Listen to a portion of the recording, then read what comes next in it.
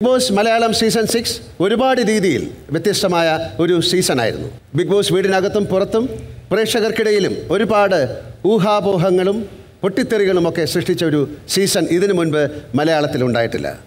എനിക്കും എനിക്കും ഒരുപാട് വെല്ലുവിളികൾ നേരിടേണ്ടി വന്നു. ഈ ഷോ ചെയ്യുന്നത് എന്തിനാണ് എന്നൊക്കെ പലരും എന്നോട് ചോദിച്ചു. ഞാൻ ഏറ്റവും കൂടുതൽ ഇഷ്ടപ്പെടുന്നത് നിങ്ങളെ എന്റർടൈൻ ചെയ്യാനാണ്. കഴിഞ്ഞ നാൽപ്പത്തിയേഴ് വർഷങ്ങളായി സിനിമകളിലൂടെ ഞാനത് തുടരുന്നു. ബിഗ് ബോസ് എന്ന ഷോ എല്ലാ ദിവസവും നിങ്ങൾക്ക് എന്റർടൈൻമെന്റ് നൽകുന്ന വ്യത്യസ്തമായ ഒരു ഷോയാണ്. ഈ ഷോയുടെ എന്റർടൈൻമെന്റ് എന്ന ഘടകമാണ് എന്നെ ഈ ഷോയിലേക്ക് ആകർഷിച്ചത്. അത് തന്നെയാണ് ഞാൻ ഈ ഷോ ചെയ്യാനുള്ള കാരണം. സിനിമയിൽ ഞാൻ ഓരോ കഥാപാത്രങ്ങളായിട്ടാണ് നിങ്ങളെ എന്റർടൈൻ ചെയ്യുന്നതെങ്കിൽ ഇവിടെ മോഹൻലാൽ ആയിട്ടാണ് ഞാൻ നിങ്ങളുമായി ഇടപഴകുന്നത്. ബിഗ് ബോസ് റിയാലിറ്റി ഷോ എപ്പോഴും അൺപ്രഡിക്റ്റബിൾ ആയിട്ടുള്ള കാര്യങ്ങളുടെ വിസ്മയ കാഴ്ചയാണ്. ഇവിടെ യഥാർത്ഥ ജീവിത രഹസ്യങ്ങൾ ലോകവുമായി പങ്കുവെക്കപ്പെടുകയാണ്. എല്ലാറ്റിലും ഉപരി ആഴ്ചതോറും ഇവിടെ വന്ന് നിങ്ങളോട് സംസാരിക്കാനും നിങ്ങളെ കേൾക്കാനും എനിക്ക് കിട്ടുന്ന സമയം കൂടിയാണ് ഇത്. ബിഗ് ബോസ് വീട് എന്നും എന്നെ അത്ഭുതപ്പെടുത്തുന്ന ഒരിടമാണ്. എല്ലാം കാണുന്നുണ്ടോ? ട്രോഫി കണ്ടോ? എങ്ങനെയുണ്ട്?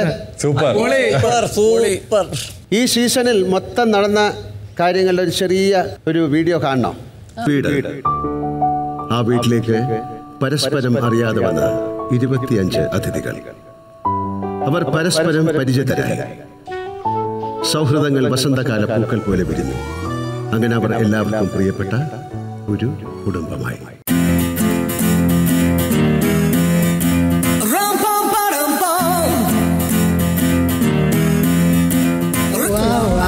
എത്ര നാളായി ഞാൻ ആഗ്രഹിച്ചിട്ട് ഇങ്ങോട്ട്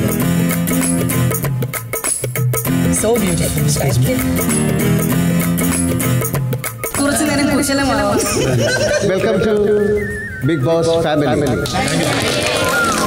മാറിവിൽ ഗോപുരങ്ങൾ എനിക്ക് ഏറ്റവും കൂടുതൽ കാര്യങ്ങൾ ഷെയർ ചെയ്യാൻ മനസ്സോർക്കാൻ അൻസിബ് ഉണ്ട്. എപ്പോഴും ഓടിക്കൂട്ടാൻ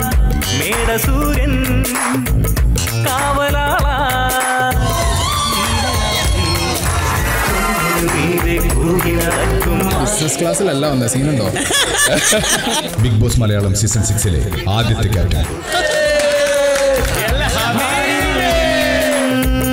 ഗോപുരങ്ങൾ വെണ്ണിലാവാ നരസിംഹമ്മനാരുടെ ഭാര്യയായിരിക്കാൻ എനിക്ക് സമ്മതം. Coming back as Sai Krishnan Kannan ഞാൻ ബ്രാക്കറ്റിൽ എഴുതിയിട്ടുണ്ട്. ജന്മനി നീ വന്നിവിടെ ചായ വെക്കൂ. മൊട്ടത്തലിനെ ഒരിക്കലും വിശ്വസിക്കാൻ പാടില്ല. ഇവർ പല രീതിയിൽ തിരിച്ചും മറിച്ചും നീ അപ്പൊ തന്നെ പറയണം നിങ്ങൾ ധ്യാനത്തിന് പോയിരിക്കും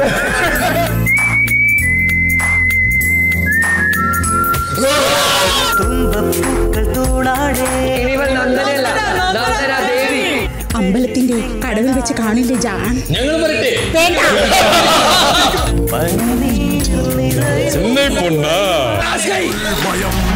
പ്രശ്നങ്ങൾക്ക് നട്ടെന്ന് പറഞ്ഞ സാധനം ഉണ്ടെന്ന് മോനെ ഞാൻ സംസാരിക്കട്ടെ അവിടെ നിൽക്കുക കളിച്ച് ഈച്ച ക്യാപ്റ്റൻ അവിടെ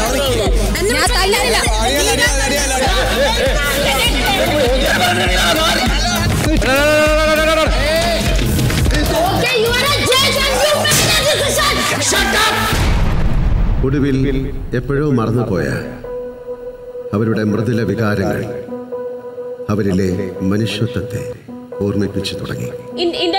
എനിക്ക് കിട്ടിയ ലൈക് ഫസ്റ്റ് ചാൻസ് ആണത്. ഓക്കെ ലൈക് അത് കഴിയുമ്പോൾ എന്റെ സ്പേസ് ആണ്. അതൊരാളെ ഇൻസൾട്ട് ചെയ്യുന്നതാണ്.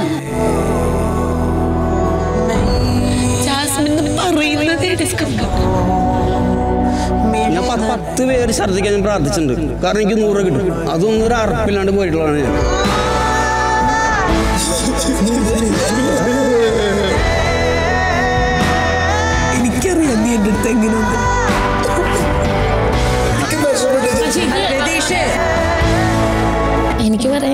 പറയാൻ ആരുമില്ല എന്നുള്ളൊരു സാധനമുണ്ട്.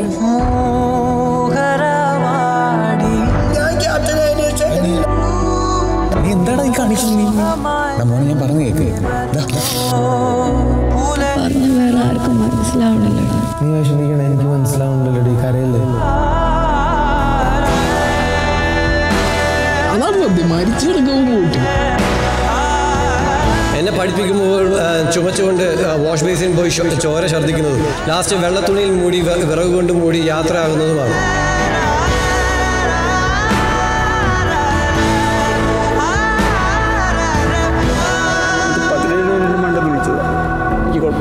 അങ്ങനെ ബിഗ് ബോസ് വീട്ടിലെ അവരുടെ നൂറ് ദിവസത്തെ ജീവിതം അവസാനിക്കുന്നു.